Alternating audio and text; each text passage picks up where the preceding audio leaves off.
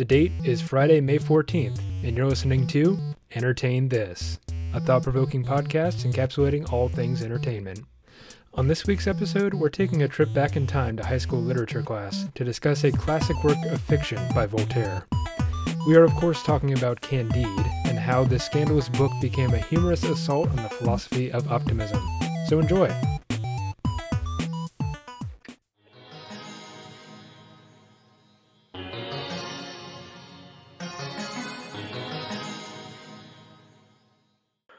What is up, you guys? Welcome to another episode of your favorite podcast on the internet covering all things entertainment. That's right. You already know the game. You're listening to Entertain This. entertain this. As always, I'm Alex, I'm Michael. And I'm Nick. and we welcome you back to another week. Uh, what I'm doing right now is something in comedy known as a cold opening. It's when somebody goes into some topic that is unrelated to the original topic for comedic effect. Now, on to Nick for our topic this week. Hey, wait a minute. You didn't, I didn't prepare for this. You didn't prepare me for this. I didn't, We've already done this joke, guys. We can't keep pretending we are unprofessional and didn't prepare for the week because people are going to start believing it's true. So we did that once. We did it with Michael's Monster Hunter episode. It ended up being True. really popular Yep. and probably set the president a lot of people's mind as to how our show goes. Uh, so no, you did prepare. How many pages are in your goddamn script? Tell me right now. uh, eight.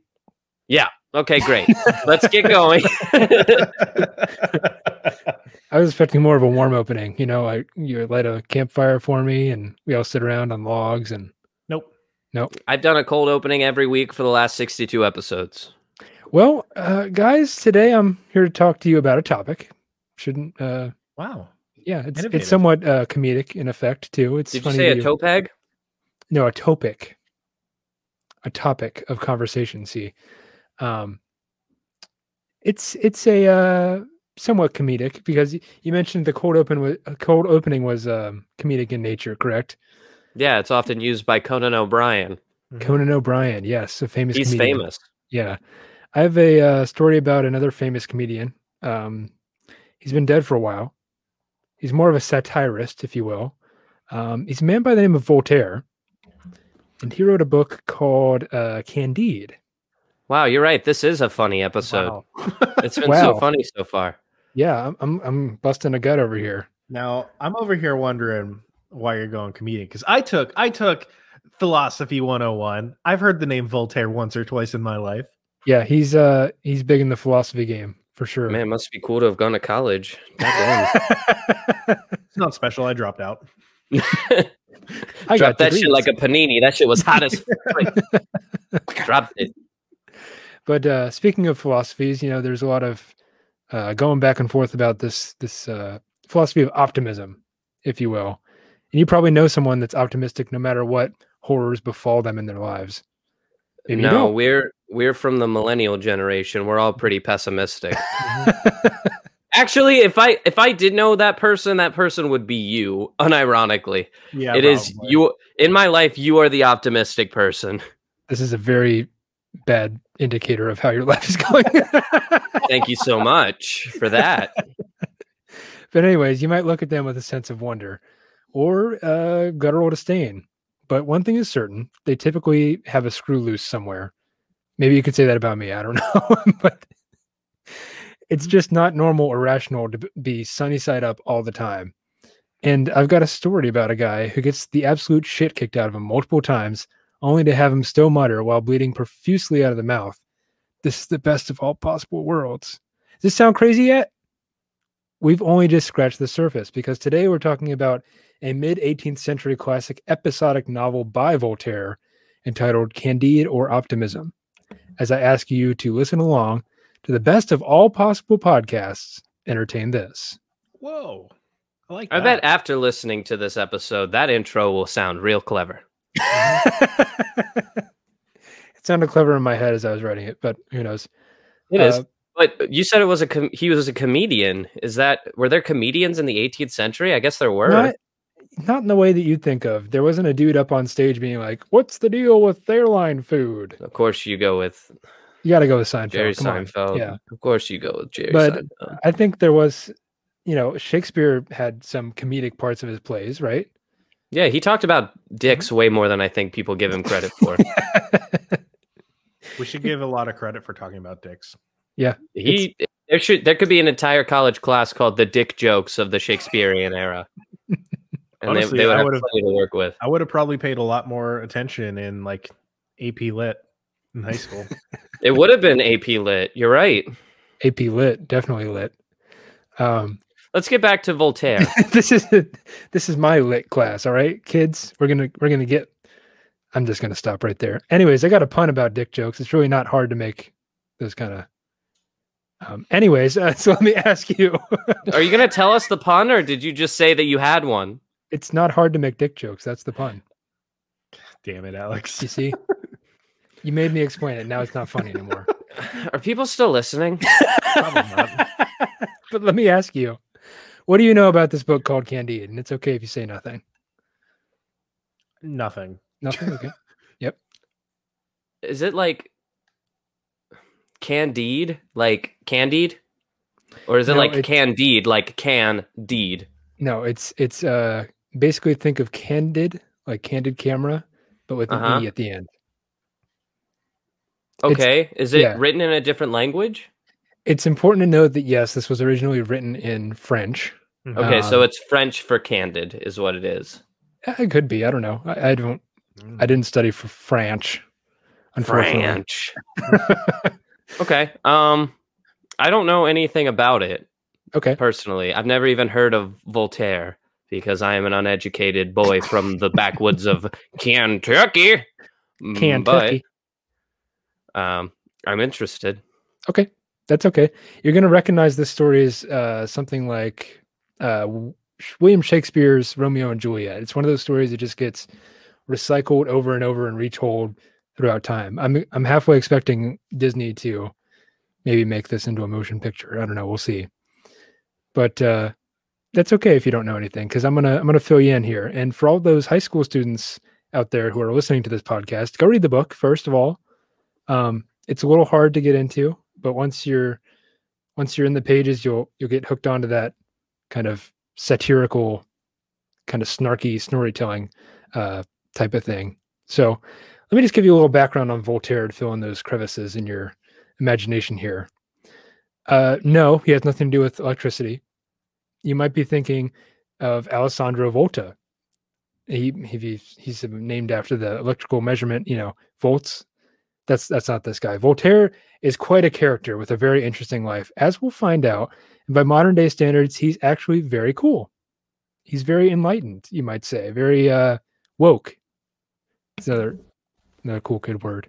So could I compare him possibly to somebody who um like did LSD once and now they're like, I'm on a whole different level from you, man. Go ahead. I just that's it. That's what I Okay. that's where I'm at right now. That's what I want to go into. Because if you're getting your ass kicked in an alley and you're like, this is the best world that there is. I can't beat this. Is It's that a sad realization or a happy one? Yeah, and is he being genuine there? Or is he being sarcastic? He's being major sarcastic. Oh, Majorly uh, sarcastic. I was gonna So- say because like I looked up the French word for can candide. Yeah. naive. Naive. Yeah. Ah. See, it's funny, right? Hmm. It's the first of many little little haha funny moments. That's really what you do in these kind of books. You flip through them and you go, aha, or you do one of these, the the poetry snaps. Oh. Oh yeah, Yeah, if you're not sipping wine with this, then I don't know what you're doing. Um, unless you're Oh. underage, of course. Don't don't don't do that. Um, okay, so pour yourself a glass of wine and entertain this. Let's Thank go. you. There you go. In any event, uh, Voltaire was born in France in 1694 with the name of Francois Marie Arouet. So that's a very French name. But later on, he decides to go with Voltaire because he's being persecuted because he's being too snarky, apparently. Um, That's what I'm gonna go to jail for. yeah, for being too snarky. you were doing five snarks and a 55 limit. What do you? Anyways, he's born during the reign of uh, Louis the Fourteenth, and that's important because this was the time where France was kind of at the top of its power.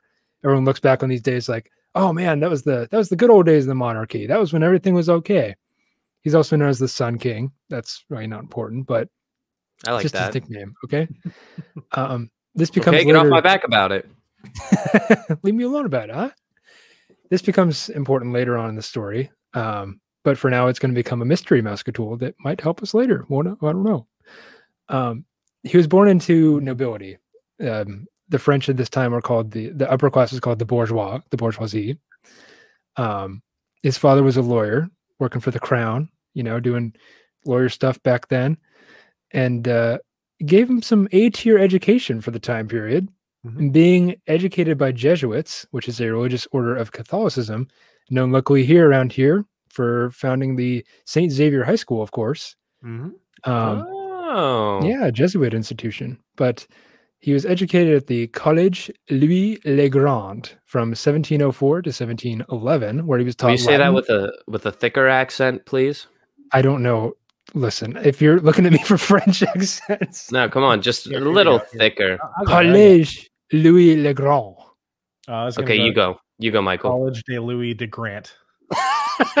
Oh yeah, that over there, that's a college, Louis Day Grant, I think. hey, you know that one town in Kentucky called Versailles? Hey, I don't know about that there Versailles. No, I was looking for something along the Central lines of like joke. there you go. of like uh something like Louis de Grand, you know, like yeah. More of that. You put some You got put it. some nasty on it. Mhm. Yeah. It's more the cheese than we eat. Next time I hear my name, you put some nasty on it. I'm sorry. Next time you taught- say the name Bull Sarah, I better hear a little nasty on it. um, he was taught Latin. Obviously, he spoke French. French. He was taught theology and rhetoric, and later in life, he became fluent in Italian, Spanish, and English. And So, kind of a yeah, and sarcasm. Not to leave that out. Quite the Renaissance man. Well, post Renaissance, if we're being technical, but shut up, Nick. That's what everyone's saying. Um, he goes out into the world after this education, and his father kind of sets him up to be a lawyer, but he doesn't want to do that, much like our boy Franz Kafka, right? hmm He had a stint in pretending to work in Paris as an assistant to the, uh, a notary, but instead he spent most of his time writing poetry. And his father found out he was playing pretend, and he sent Voltaire to study law, this time in Sienne, Normandy, which I'm going to pretend I know where that is. But I don't want to be a lawyer, Papa. I want to be a dancer. he says, I want to be a poet. Um, he continues to write, producing essays and historical studies. One thing that I like to keep in mind about Voltaire is that he's absolutely prolific. He wrote a ton of stuff. And it just happens to be that Candide survived the uh, the winds of time as they were, and it's still a great book today. So, in 1713, his father obtained him a job as secretary to the new French ambassador to the Netherlands. He keeps trying to prod him into anything other than being a writer, because apparently that's what dads do during this time period and even today. But at The Hague, which is, I think, another, it's a city in the Netherlands, Voltaire fell in love with a French Protestant refugee named Catherine Olympie de Nevers, also known as Pimpette. That's a pet name. That he, yeah, that he ordained upon her. But it's important to note at this time, Catholicism was kind of the law of the land in France, and Protestants were not allowed at all. So their affair, considered scandalous, scandalous, was discovered, and Voltaire was forced to return to France by the end of the year. So he's having a little affair. He's having a little fun in the other ones, and then he's like, "All right." He's cheating on his pipette. No, he's not cheating on. He's. I don't know what it is. It's because it's one of those things where Pimpette was one of the uh, royals of the Netherlands, and she was Protestant. Let's not forget that Protestants and Catholics aren't allowed to mingle at all during this time. Mhm. Yeah. So it gets kind of sticky with him, and then he has to go back. To Ew. France. Sti- not not like that. I'm sorry. Uh, big apologies. Crazy Um, Nick. Our showrunner picks the best time to run our our Yeah. usernames across the screen for our visual listeners out there. Our visual listeners. Yeah, Michael, for people who are listening to the podcast and watching our visual bit, it's our visual listeners. the Mhm, visual mhm. bit. But uh, back in France, he gets into more trouble with the authorities once again for his critiques of the government, which is not allowed at this point. Um, as a result, he gets twice sentenced to prison, uh, where he, okay, doing the more visual bits. Um, he did a satirical verse in which he accused the regent of his town, which I guess is like a governor, of incest with his daughter, Wow. which is, you know, that's that's not really cool. But it Huh? resulted in he accused Hold on. he was like, Hey Regent, I bet you you you have incest with your daughter, right? Oh, Like okay. Those type of things. Yeah. the character is lined up once more. Yeah. And then as a result, he's imprisoned in the Bastille, which is a you know, a kind of famous prison in France. But he's like, Come on, dudes, learn to take a joke. And he then gets out of prison and he decides to go by Voltaire because it's not only his pen name, but he gave it to himself to elude the authorities. Mm. So that's where he kind of gets this uh you know, the Batman thing where he puts on the mask and becomes someone else, I guess. I'm Voltaire. Voltaire. So, so is Voltaire like one of the originators of the like? Come on, guys! It was just a prank. could have been. Yeah. It could have been like that. Um, I'm sure he didn't actually say those exact words because, well, he wasn't speaking French, of course. Um, Oh, it could have been a prank. Come on. it was a prank, bro. It was, uh, you say, uh, just a prank. Come on. but after I do that, not sleep with. No. some more stuff happens in his life. Blah blah blah. He travels here and there, all while being an absolutely prolific writer, making these writings in prose, poetry, pamphlets about the government and religion, which people eat up. And as you can imagine, he's drawing a lot of flack from the authorities. And perhaps that's why he moves around so much. But he's kind of a man on the run, outlaw type of deal. Mm. Um, this period of history is important to note too, because this is an age known as the Enlightenment. Mm-hmm. You guys know anything about that? I do. Yeah. What do you I know off the top of your dome? Off the top of my dome, I don't remember. Okay, great. but it's familiar. Are we talking about the age We're yeah. talking about the Age of Enlightenment. Yeah, Uh, wasn't it a big religious uh, movement? actually, to the opposite. Yeah, that's what I meant. It was like it? Yeah. They, it was a big That's movement. right. This is Yeah. where like all the ideas of like separation of church and state. Yep. and, like, Yeah. uh, freedom of religion and all that sort of came into play.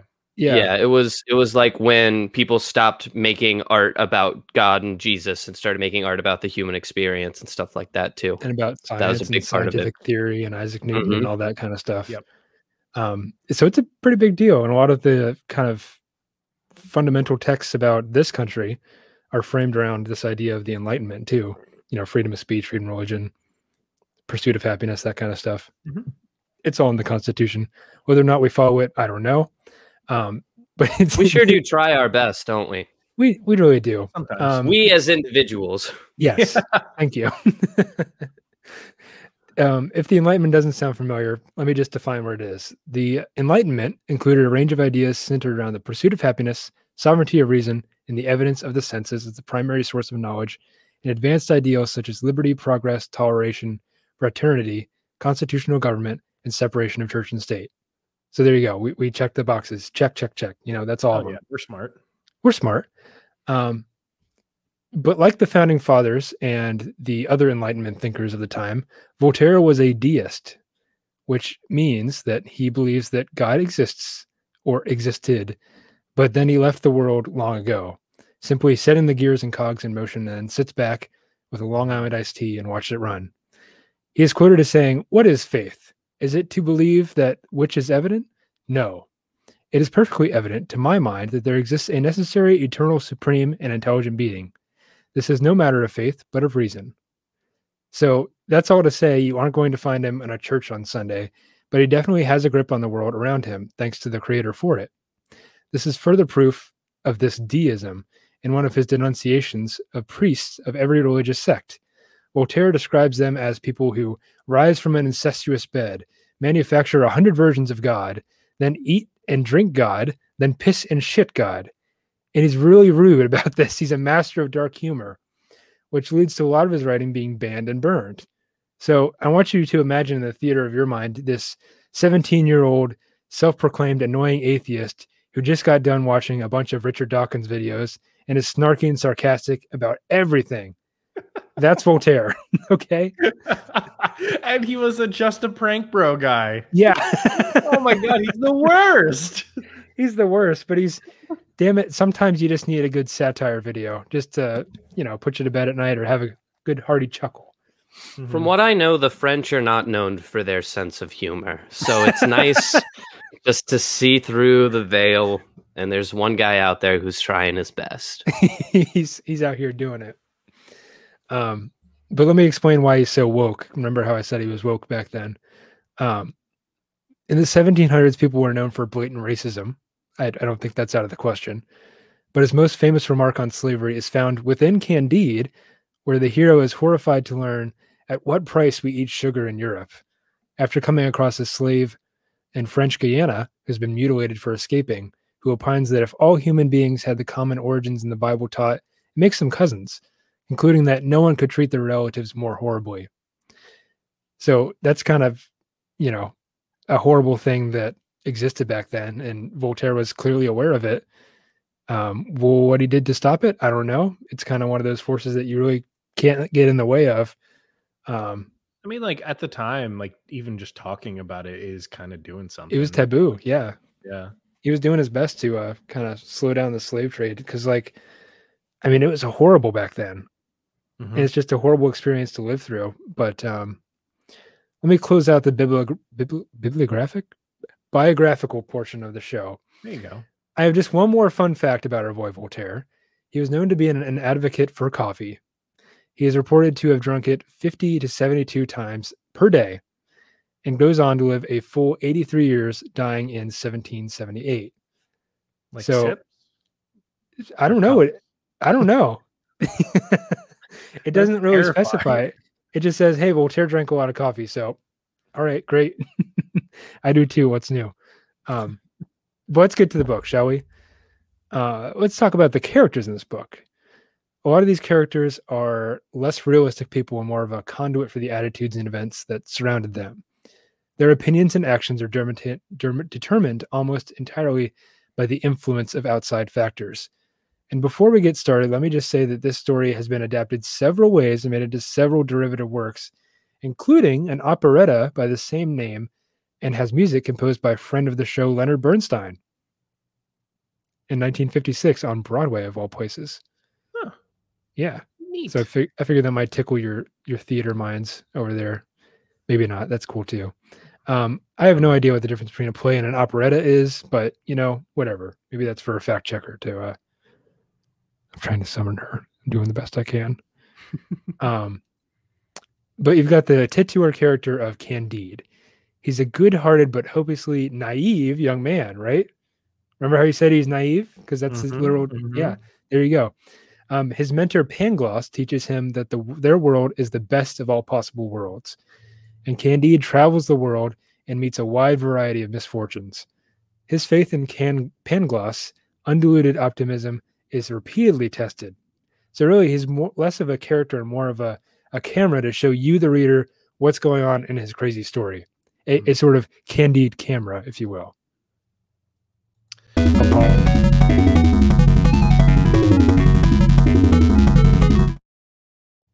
Hey, there she is. Ah, you're getting fact checked, bitch. What's up, guys?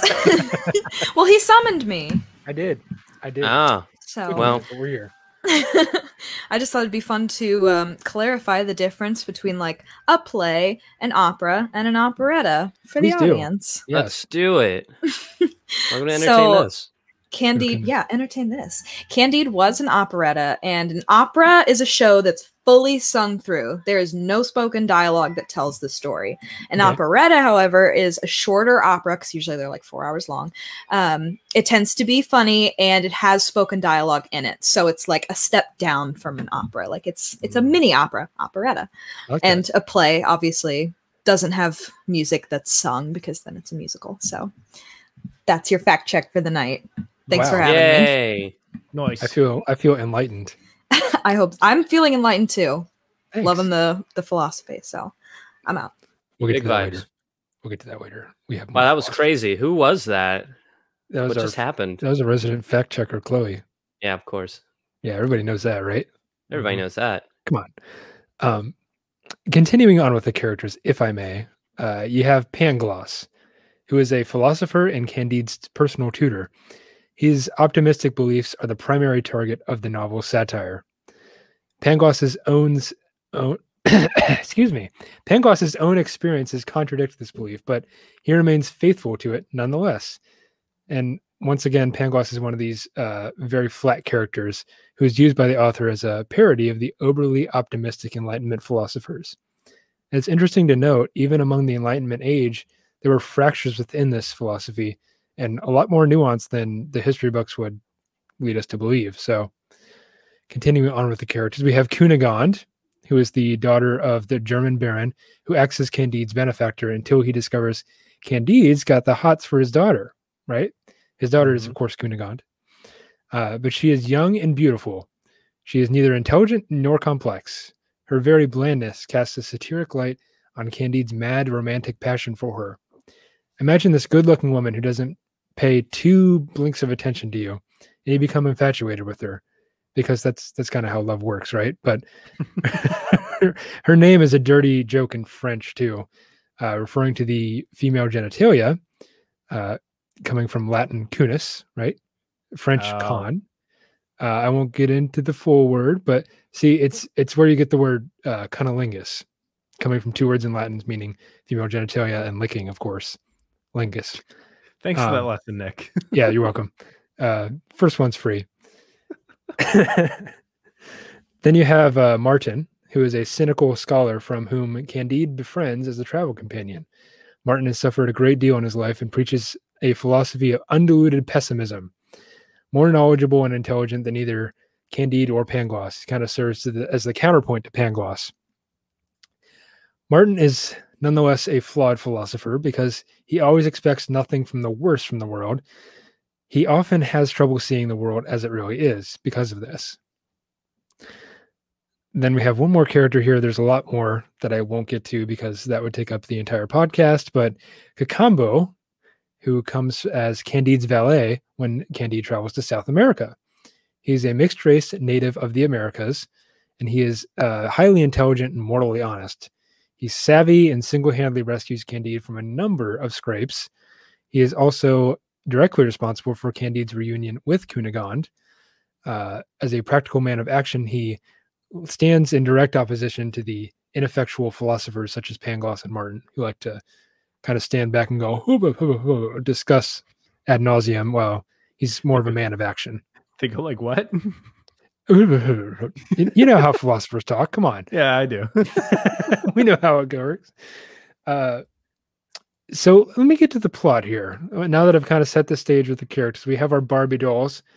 Uh, I've kind of set the dollhouse that we're playing with these in, I think, um, because it kind of takes place all over the world. There isn't one particular set, uh, if we're thinking about this in playwright terms. But Candide is the illegitimate nephew of a German baron, which he's being raised with in his castle, uh, Thunder Ten Tronckh, or however you pronounce that.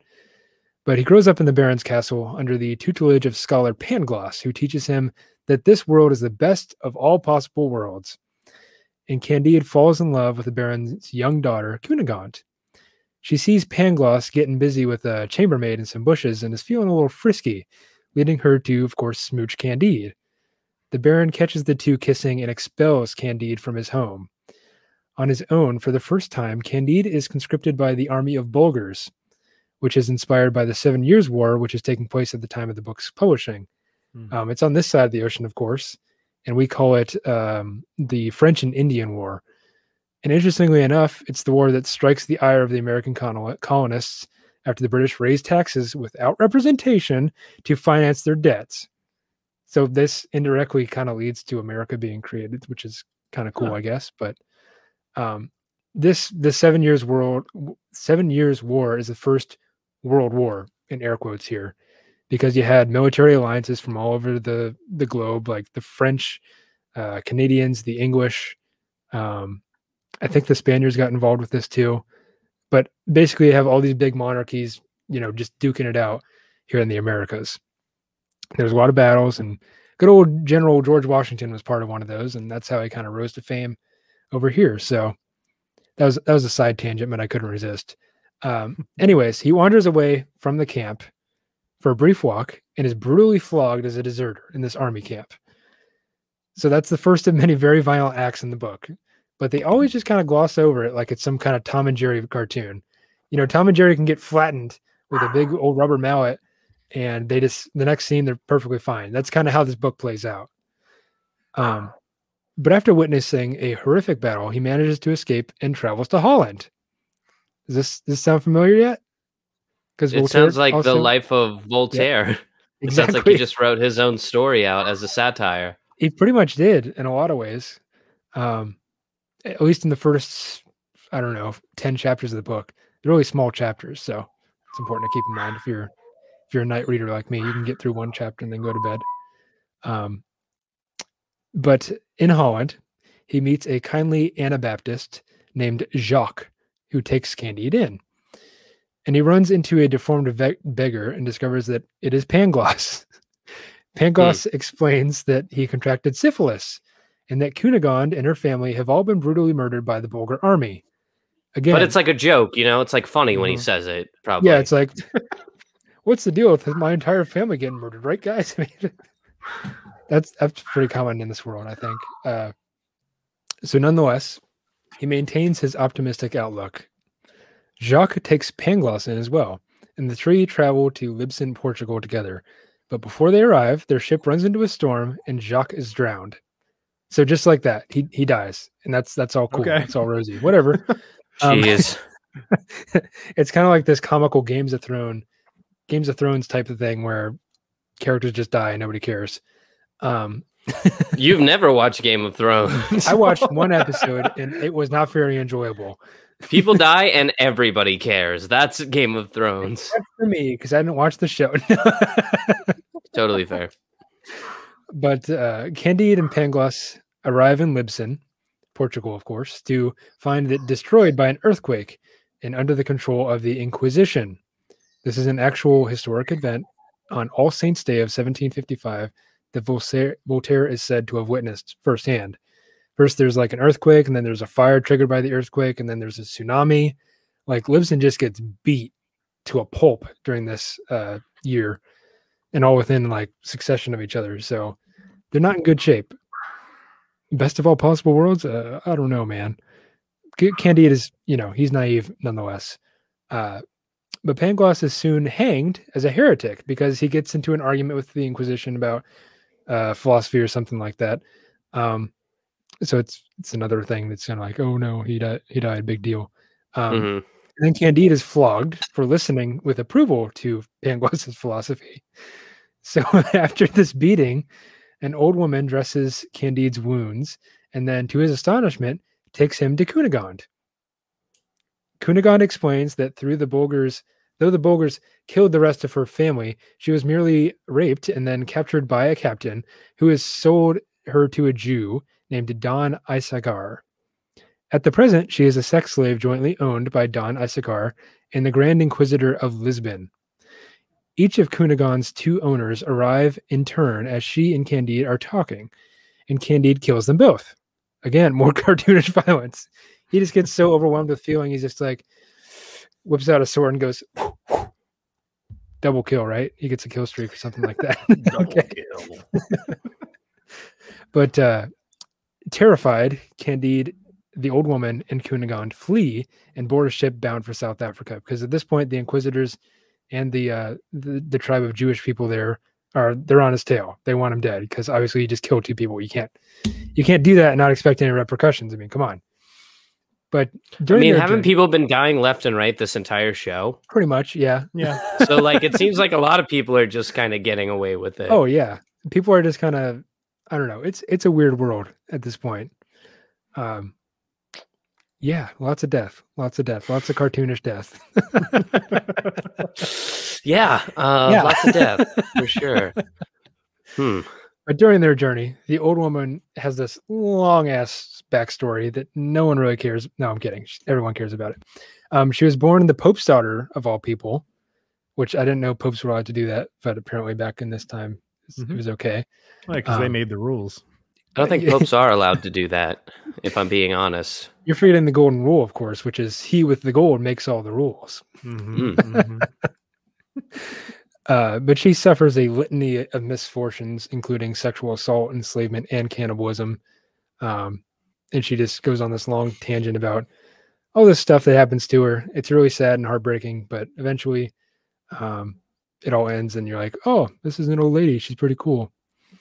Um, so after that, Candide and Cunegonde plan to marry. Right, we're getting closer. We're getting to the happily ever after, right? Uh, but as soon as they arrive in Buenos Aires, which is in present-day Argentina, the governor, Don Fernando, proposes to Cunegonde. Thinking of her own financial welfare, she accepts, of course. And Cunegonde's probably thinking at this moment, like, bruh, I thought we just agreed to marry. True. then the authorities are looking for the murderer, murderer of the Grand Inquisitor, arrive from Portugal, and they pursue Candide, along with the newly newly acquired valet called Cacambo, who I mentioned before. Candide flees to the territory controlled by Jesuits, who are revolting against the Spanish government. There's our old friends, the Jesuits, again. Uh, after demanding an audience with the Jesuit commander, Candide discovers that the commander is Cunegonde's brother, the Baron, who also managed to escape from the Bulgars. Candide announces he plans to marry Cunegonde, but the Baron insists that his sister will never mar- marry a commoner. Commoner. Commodore, com- commoner. There we go. Enraged, you know, because this this kind of stuff didn't happen. You had nobility, and then you had like everyone else, pretty much. Um, very kind of class tiered based system of society. Uh, enraged, gue- guess what's going to happen, you guys? Candide He kills him. He, yep, he runs at him. He just swords out, just you know, once one slice, dead. Um, so Elimination. so as you can imagine, uh, now he's got to run again. He and Cacambo escape into the wilderness where they narrowly avoid being beaten by the native tribe called the Big Lugs. I don't know if that was an actual tribe's tribe name. Could be, who knows? Uh, but anyways, they're they're traveling for several days. They find themselves in the land of El Dorado, the famed city of gold, where everything is golden and jewels litter the streets. It's a utopian country with advanced scientific knowledge, no religious conflict. It's this uh, city of gold that's the embodiment of all these enlightenment ideals. Hmm. But Candide longs to return to Cunegonde. After a month in El Dorado, he gets kind of bored. that's that's how it's described. He just gets bored. Um, He gets bored in the city of gold. yes, because it's just oh, it's gold. Who cares? You know, whatever. The city's made out of it. What am I going to do? Um, he departs and he loads countless invaluable jewels into a swift pack sheep. Uh, when they, of course, reach the territory of Sur- Suriname, Candide sends Cacambo to Buenos Buenos Aires with instructions to use part of the fortune to purchase Cunegonde back from Don Fernando. And then they meet him in Venice. An unscrupulous merchant called Vanderderder, Vanderderder, Vanderderder. something like that. Uh, See, this, folks, is why you don't write out scripts. Okay. because I had a way that I was reading it in my head, and then you actually have to say it, and it's like it's not the same. Mhm. not the same whatsoever. Um, but you know, Vandadura steals much of Candide's fortune, kind of dampening his optimism somewhat. So then Candide sails off to France with his specifically chosen companion, an unrepentantly pessimistic scholar named Martin, who I mentioned before. Mhm. On the way there, he discovers part of his fortune when a Spanish captain sinks Van der Urger's ship. Candide takes it as proof there is justice in the world, but Martin staunchly disagrees. So, after all that happens in Paris, Candide and Martin mingle with the social elite. Candide's fortune attracts a number of hangers on, several of whom succeed at flinching jewels from him. Candide and Martin proceed to Venice, where, to Candide's dismay, Cunegonde and Cacambo are nowhere to be found. It's kind of a strange point in the book because here he is traveling across the world. He's in pursuit of this girl, and then oh, princess isn't in this castle. Go somewhere else. Great. Okay. Cool. Um, they do encounter uh, several colorful individuals there, including including Paquette, the chambermaid turned prostitute who gave Pangloss syphilis, and Count Pococurante, a wealthy Venetian who is hopelessly bored with the cultural treasures that surround him. Kind of sounds familiar with the Candide in uh, El Dorado, right? Mm. Mhm. Or callback there. Eventually, Cacambo, now a slave of the deposed Turkish monarch, surfaces.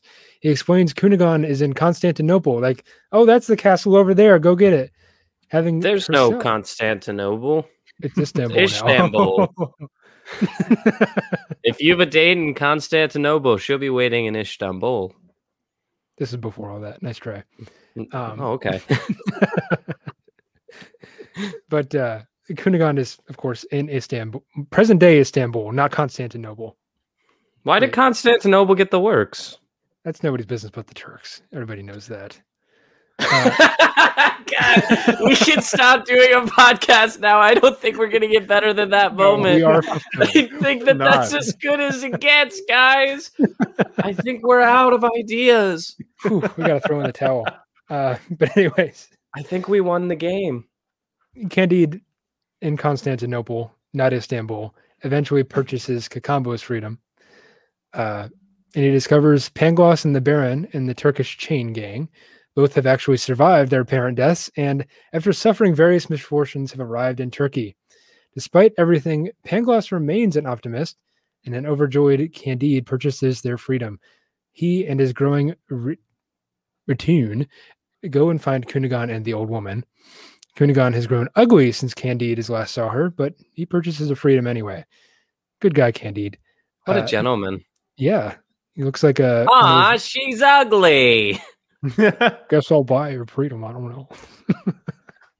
kind of simping a little bit, maybe. Uh, but he uh, he then uses the remaining fortune to go and buy a farm outside of Constantinople. He's he's had it with his traveling and chasing women across the world. He's just going to go buy a farm. Uh, but he keeps his long-standing promise to marry Cunegonde, but only after being forced to send the Baron, who still cannot abide by his sister marrying a commoner, back to the chain gang because apparently he survived the the killing. I don't know. It's very confusing. People He survived the killing. he survived the the knife fight with the I don't know. People die and then come back to life. It's a miracle. Hallelujah. It's Marvel. It's the It's Marvel, Marvel. Cinematic Universe. Mhm. it's the Voltaire cinematic universe. um, but eventually, you know, uh, Candide, Cunegonde, Cacambo, Pangloss, and the old woman settle into a comfortable life on the farm, but soon find themselves growing bored and quarrelsome. Finally, Candide encounters a farmer who lives a simple life. He works hard, he avoids vice and leisure, and everything in between. Inspired, Candide and his friends take back to cultivating a garden in earnest. All their time and energy goes into the work, and none is left over for philosophical speculation. And at last, everyone is fulfilled and happy. And that's the end of the story. Huh. So, how about that? but uh, imagine reading this in Catholic high school for the first time, and that might have been. that's where I read it for the first time. Or, I, yeah, it was it was something for sure. And then, of course, you know, every good English teacher allows for like a discussion on this Mhm. and uh, some of the points wouldn't be allowed by um, a priest. Let's just say that much. I'd imagine. Man, that's it sounds when you just like run through the plot like the worst tragedy you've ever watched. it's not a tragedy though; it's satire. It's what but what's it satirical of life, I guess? It's it's heavily satirical of optimism. Okay, so Mm. there's a philosopher at this time which apparently Voltaire had a a big spat with. Uh, his name is Gottfried Wilhelm Leibniz, and he publishes this book that caused Voltaire to attack and satirize it. Satirize it. So, in this book, it's called uh, Theodicy, the Theodicy. he tries to justify the apparent imperfections in the world by claiming that this is the optimal among all possible worlds. Ah, Once again, sounding pretty familiar, right? yeah. It must be the best of all possible and the most balanced worlds because it was created by an all powerful and all knowing God who would not choose to create an imperfect world if a better world could be known to him or possible to exist. So that's, so kind of that's how where he the explained it. satire comes in is like at in this story he reaches rock bottom and Yep. he still like feels nothing and then he gets like all the way to the top he's at the city of gold and he still feels nothing and it's Yep. just like that's the satire of it is if you're not perfectly positive guess what life's still going to happen to you Mhm. Yeah, I mean, he's optimistic through it all. uh, Like even after getting a, a huge beating, and you know, he's on the run from the law. He's in El Dorado. This is the best of all possible world. This is the best of all possible. He says that like ad nauseum. Everyone says that until they're blue in the face, but it's really not. Like, despite all these evils that befall him, shit just happens. Okay, and he's still positive through it all. It's it's not it's not logical that's kind of the point I'm trying to draw home here is that being an optimist isn't logical in any way. It's not even rational. Um, what we do with the evil in the world, I mean, that's a big question. There's no shortage of it. If God is good and everything is for the best and good, why is there evil in the world if God is all knowing and all powerful? And that's kind of where Gottfried Leibniz is coming from. He tries to explain this, he tries to rationalize this in some way like, yes, there is an all powerful and all knowing God, but he created this world because it is the best of all possible worlds. And you can So his thing is like, yeah, it's bad, but this Yeah. is the best that it gets. yeah, like exactly. it gets so much worse than this. And I guess the satire that they're trying to be like is like, hey, if God made it this bad and we're not trying to make it better, then what the fuck? yeah, it's it's a lot. Um it's kind of heavy. It's kind of heavy to think of, but that's I mean, that's philosophy in a nutshell, really. It's Yeah. things that lead you to more thought. It's just an endless rabbit hole of okay, well, if this means this and that means that, then this must mean this and that. and then what if this happens? It's it's a lot. It's it's a it's a brain treadmill, if you will. Wow, But it Doc, has its this is purposes. heavy. this is heavy. Do you even lift, Marty? Um, it's an old meme. I'm sorry, Mm. but this is not to discredit discredit Leibniz at all because he's a really smart guy. But this is downright delusional. Uh, and even syphilis, he explains, is for the best. He's not upholding pessimism because humans love life. That's why we don't kill ourselves. But if El Dorado is the utopia and is great, then why is it extremely boring? And most of this evil in the world is brought upon by us humans. I mean, yeah, there's the occasional earthquake and wildfire and tsunami and all that, but a lot of the things that were going on during the publishing of this book was brought upon by humans. The Seven Years' War was a horribly bloody conflict that led to a lot of bloodshed that probably didn't need to happen over empirical, you know, dick waving, for lack of a better term.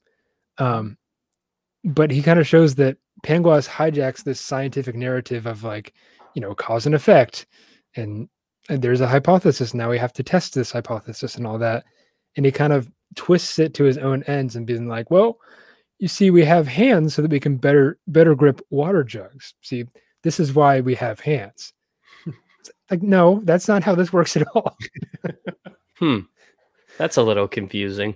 it is a little confusing. I mean, it's you scratch your head and you're wondering like, why would anyone latch onto this idea of like Pangloss's unwavering optimism? But in, at the end of the I day, I guess it's like, just it's easier. It's easier to just be like it could be worse, so I'll just be happy with what is, even if Yeah. it's bad. Yeah. Um But I this guess the I best get that. possible world? I don't know. well, here's the thing is if you accept what you have, you never get better. And I think that's where the satire comes in. Because if it were the best of all possible worlds, he's sitting in the city of gold, why would he leave unless he knew that he could get something better? You know? Or not something better, just something different, maybe. And maybe that's it. Maybe it's like, if this is the best it's going to get, what if I just want something else? Yeah. It's Maybe like, that's uh, the satire of it. yeah, it's like I'm a, I'm a CEO. I'm in charge of like a giant company, but I'm kind of bored, so I'm gonna go do something else now. I'm going to go be a firefighter or a I'm gonna go be a- spaceman. That's what. That's literally the the storyline of Elon Musk's life. He's like, I'm so rich now. I want to be a spaceman. is that the end all be all? You just become well. First step is don't be poor. Okay, so that's number one. Don't Number be two- born poor, or else you're not going to be a spaceman. That's your first screw up in life. I didn't have a choice in this. Uh, Doesn't step matter. two is become an astronaut, spaceman, Step spaceman three, astronaut. profit. Step step four, profit. Hmm.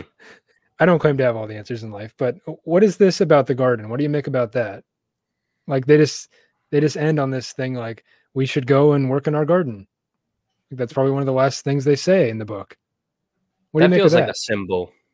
Mhm. symbol? Oh, um because i mean like we said he's making a satire in a book that's pretty much like you should be happy with what you have and just accept it Yeah. um and i guess i kind of touched on this earlier but it does sound more like when you when you say we should go work in our garden it sounds like we should go work on society if it's not good like we shouldn't just be like this is the best it is we should go work on it and if that's how they end it then it's like we should go work on our lives uh, and we should never stop. Like that Hmm. should be where we end it. Is still working on it. yeah. Michael, do you have any thoughts? I don't know. Yeah, it, it's kind of similar to what I was thinking, where it's like, um, it's essentially what I was thinking of. Like, if we're not going to be able to find the Garden of Eden and find the best place that we possibly could, uh, why not create our own Garden of Eden? Like, why not try and create our own best society? Yeah, we're getting biblical here. I like that. Mhm. Um, but yeah, it's it's probably a metaphor for the Garden of Eden.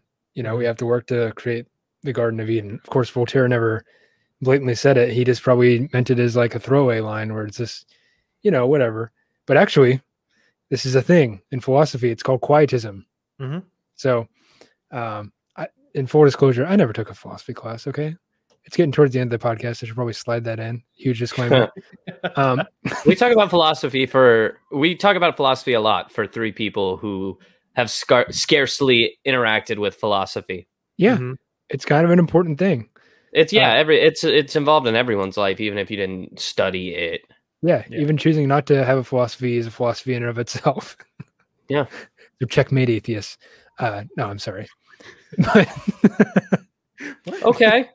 this this garden thing, it's like, you know, what do you do with a life? What do you do with uh, what do you do with your personal garden? Should you focus on the outside world, or should you focus inwards? Should you focus on, on yourself? Should you improve what is around you first before worrying about, you know, trimming your neighbor's yard, for instance? Um, I suppose you could kind of twist that into a individualist type of rationale, but uh, believe it or not, there's the there's this philosophy of quietism, right? It sees the role of philosophy as broadly therapeutic or remedial. Quietist philosophers believe that philosophy has no positive thesis to contribute, but rather that its value is in diffusing confusions in the linguistic and conceptual frameworks of other subjects, including the non quietist philosophy, which is to say that, hey, I don't need to be perplexed by philosophy because it really doesn't serve me all that well to sit there and think about it. And you have undoubtedly felt this way at some point in your life, maybe today while you're listening to the podcast. In this t- in today's day and age, it's okay not to identify with a philosophy or movement, especially if these type of thoughts make your head hurt. But if you do decide to entertain this, it's a great thought exercise to kind of put yourself in someone else's shoes or kind of understand where they're coming from. That's kind of what philosophy is. But the real moral contained in this book isn't to bury your head in the sand at the mere mention of metaphysics or optimism or quietism or anything like that, but rather to be aware that these philosophies exist, know the world around you, but focus on what you can control. The metaphor of the garden can mean different things to different people, but what it means to me is focus your efforts inward. Take some time, look towards your garden. Does it need to be weeded?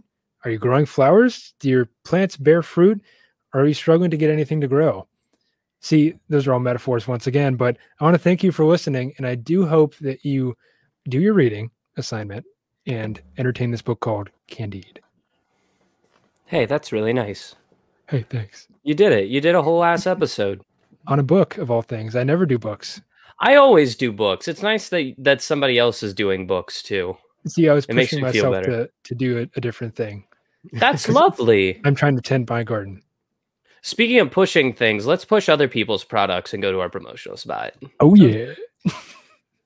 It's good. It's-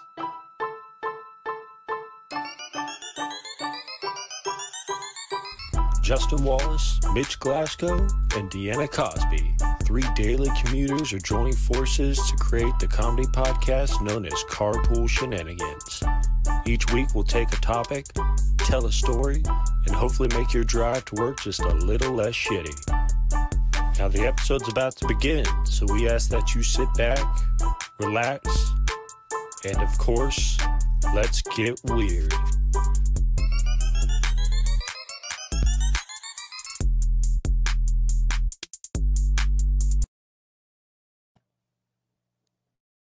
Hey, Cammy. Hey, Bryant. What do Robin Hood, Vlad the Impaler, and Mothman have in common? IDK, what? Well, they're all topics on our podcast Mystery, where each week we discuss a new myth and the history behind it. That's Myth Story with an IE. See you then. Oh. Welcome back, guys. Thank you for listening to those little ads. Before we jump into anything else, we are going to do a quick this. I am the one who's going to do it this week because I'm the one who put all of the pieces together for the Star Wars thing, and it technically was my week, so it's my turn to do a quick this. So I will do that. I promise. But before we do, I want to talk a little bit about the Scene Snobs Network. Uh, usually I talk about it before the ad break, but guess what? I have rocks for brains and I forgot, so we're going to do it after. Uh, the Scene Snobs Network is a network of podcasts all talking about everything under the sun. They got um, they have a mental health podcast. They have podcasts that talk strictly about movies. They have podcasts that talk about uh, one that we like and that you guys just listened to the ad for called Myth Story that talks Mhm. about um, myths and their involvement with culture today and all of that. Um, they have creative writing podcasts and things like that. They have a bunch of stuff over at thescenesnobs.com. You guys should go check them out. We thank them so much for allowing us to be in their network. Uh, that is all that I will say on the Scene Snobs. But go check them out. That's scenesnobs.com. Um, okay, are you guys ready for a quick this? Aye, aye, So Captain. I have one that I'm actually really excited to talk about this week. Um, so if somebody wants to start the timer, I'm not giving you a single second for free. Get your money for nothing and your seconds for free. All right. That's philosophy. Oof. Is it starting? And go. Oh, Okay, so uh, for those of you who don't follow my personal Twitter account, you guys are really missing out because I tweet some quality stuff, a lot of really good goofs, gaffs, and jokes. I'm gonna go ahead and plug my personal Twitter real quick in my quick this because I earned it. um, allowed? You can follow me. Uh, I'm at Alex Steele for real. But what I want to get into is three days ago, I sent out a tweet. Uh, and the tweet read as follows It says, Stop what you're doing right now and go watch Two Distant Strangers on Netflix. It's only 30 minutes and it's so important. Did you guys see that tweet? I don't think I Nick is on Twitter, but did you did you take my advice? Did you heed it and go watch it? Like most things on this show, I did not. Fair enough. Well, I'm going to tell you right now that um, there is a short film on Netflix that was released in 2020. It was actually made in 2020 as well during the time of the pandemic, but it is so important that I can see why they took the time to go and make it. The it's called uh, Two Distant Strangers. It's already won a lot of awards. Uh, it's already won an Academy Award for Best Live Action Short Film and an African American Film Critics Association Best Short Film Award as well. Um, the premise of Two Distant Strangers is it is Groundhog's Day for an African American man who is having a repeated run in with a police officer. Mm. I heard So- about this. It starts out he wakes up after sleeping at a girl's house who he had met the night before. It's their first time sleeping together, but you can tell by the context that this is going to develop into a longer term relationship. Um, he the basic plot is he wakes up and he has to leave because he has a dog at home that he needs to go feed because he wasn't home the night before. Uh, some of the first shots of this is like watching the dog in the apartment, like looking at the door and like crying and a lot like that. um, and he's basically like, I have to go home and feed my dog. And she's like, Oh, that's a likely excuse. He's like, No, no, no, sit down. I'll show you pictures. Start showing him pictures of the, or start showing her pictures of the dog. And he leaves her apartment. Um, does a little FaceTime with his dog on one of the coolest devices I've ever seen because it like plops out treats. Like he's talking to Mhm. his dog, and the dog's like looking at the camera. He presses the button, and two treats come out. And he's like, "Just have all the treats, have them all." and like it's it's dispensing a bunch of treats on the ground that the dog's eating. Oh, And he goes outside. Um, and this is kind of where the beauty in this film starts because before then it's just introduction to characters and stuff like that. Mhm. But one of the first things that we see is he walks outside, he lights a cigarette, he puts it in his mouth, and a woman behind him passes, and he's like, "Oh, hey, good morning." Um, and it's a Caucasian woman who, as he looks at her, she grabs onto her purse and holds it tighter to herself. It's subtle, and if you're not paying attention to it, you'll miss it. But that is, in by definition, like one of the one of the main things about this movie is there are so many subtle things happening that are so uh, to, to the like African American experience in America right now. They're like so telling.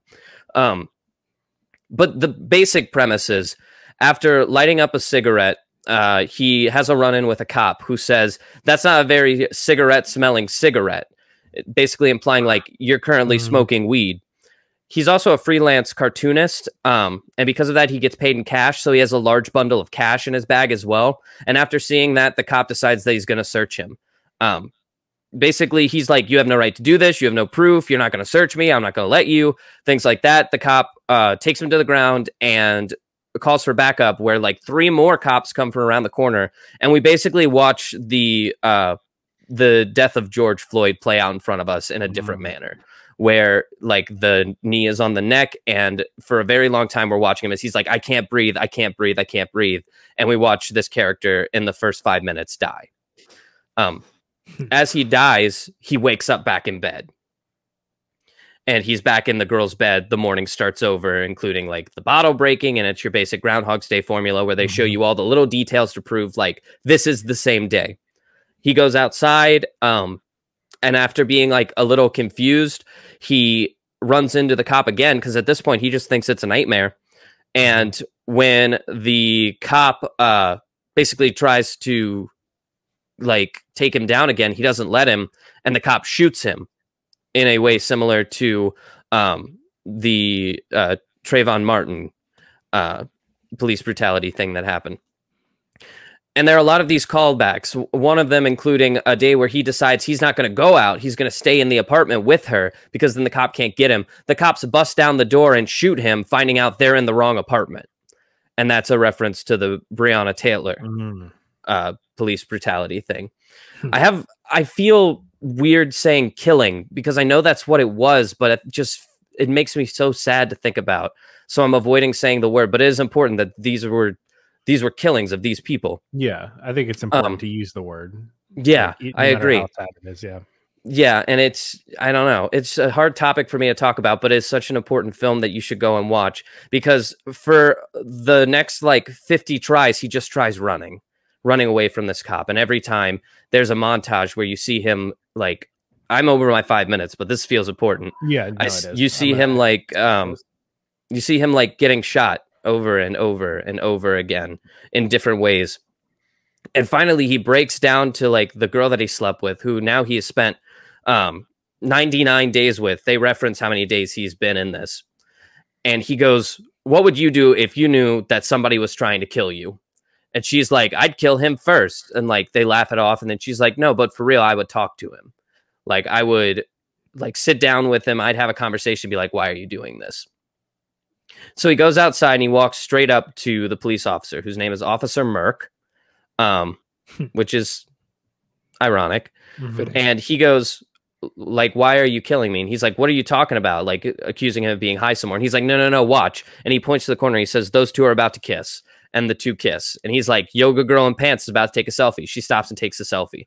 And then he starts telling the officer all this stuff that he's learned about him. Like, your mom's about to call. If you don't kill me in the first five minutes, she usually calls you.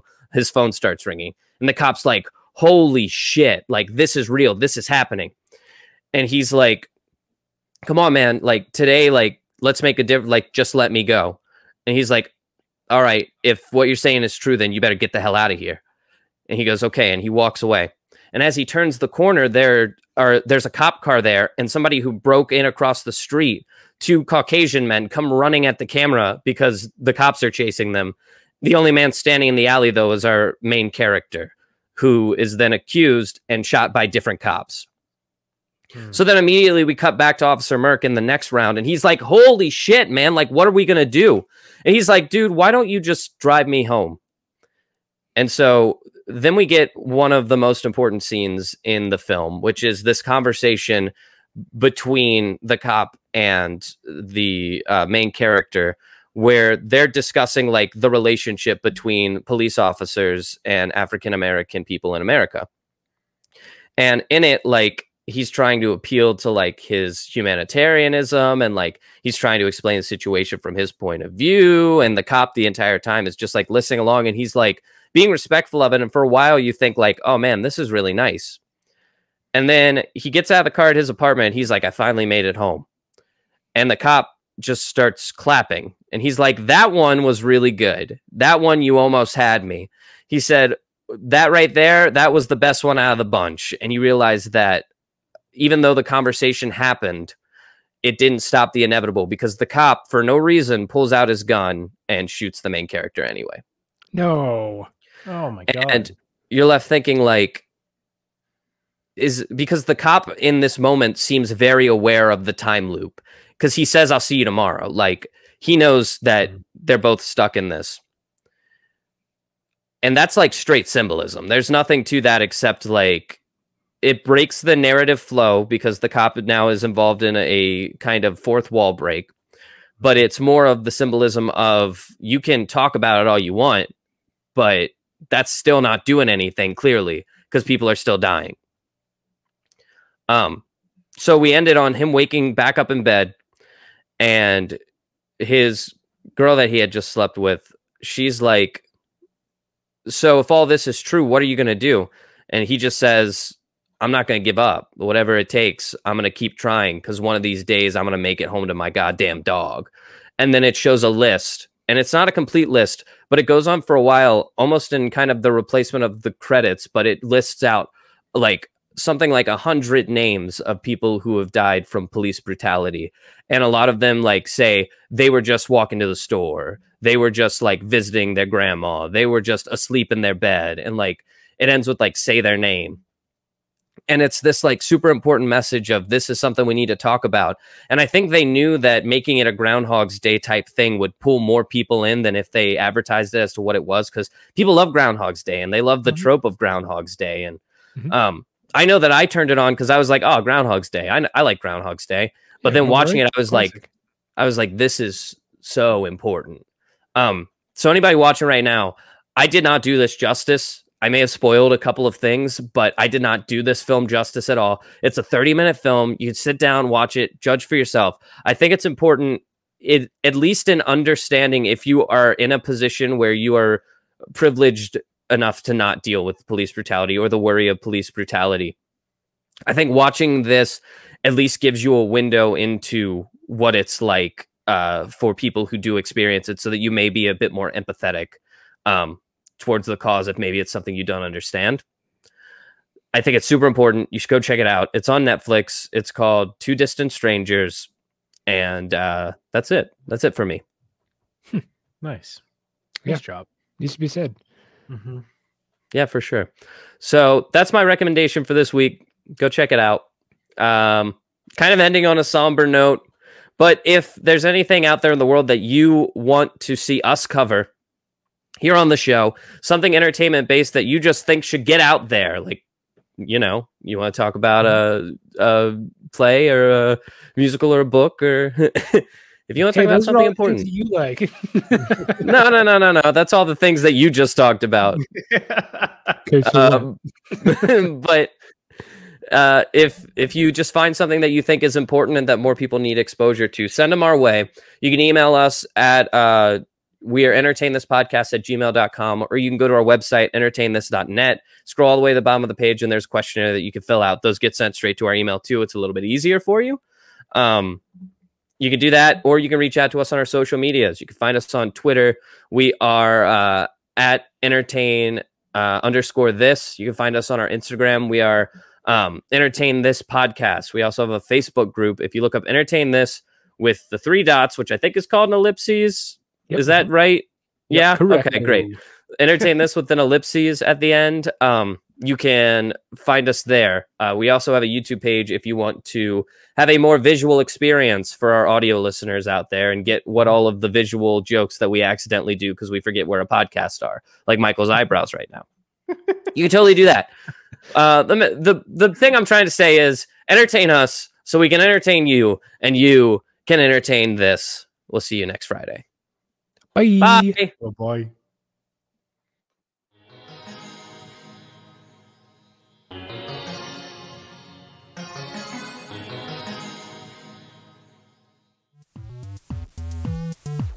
This episode of Entertain This was written by me, Nick Mustakangas, with additional commentary from Michael Savoya and Alex Steele. Our showrunner and resident fact checker is Chloe Price. Our theme music is Rush Bubble by Aaron Spencer, with additional interstitial music by DJ W. Tune in every Friday for new episodes, and thanks for listening.